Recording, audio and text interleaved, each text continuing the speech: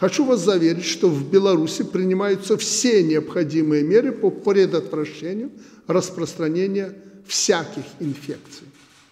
Они полностью, эти меры, соответствуют требованиям и нормам Всемирной организации здравоохранения. Несмотря на то, что мы не закрыли границу, в отношении всех въезжающих осуществляются мероприятия санитарно-карантинного характера. Ситуация с заболеваемостью постоянно отслеживается и доводится до общественности.